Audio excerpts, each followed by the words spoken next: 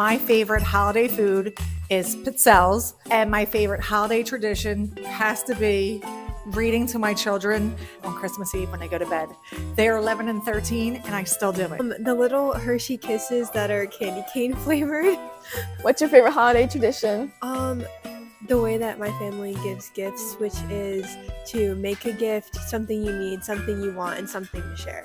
Tamales. It's a Mexican food. My favorite holiday tradition is dressing up my dog as Santa. We're going to Her's factory looking at the Christmas lights. My favorite holiday food is probably ham.